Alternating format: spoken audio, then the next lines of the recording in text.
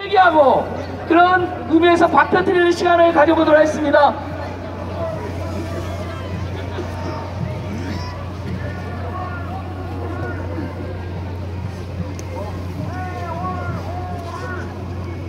예, 지금 구을 한번 헤쳐보고 방을 한번 터트려 볼게요. 자, 우리 자 다시 한번 우리 오늘 이야기했던 거 다시 한번 해보겠습니다. 노동자 시민 연대하여 의료 민영화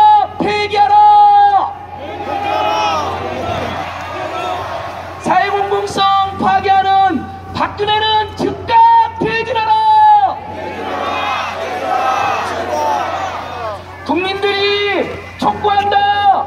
사회공공성 확대하자.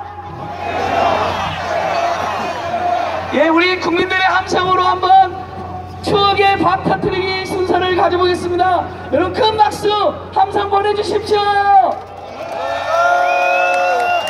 와 하나는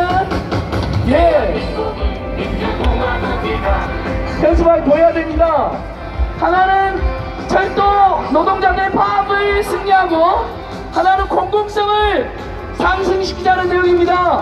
다같이 민주공화국 노래 부르겠습니다. 대한민국은 민주공화국이다. 대한민국의 모든 권력은 국민으로부터 나온다. 대한민국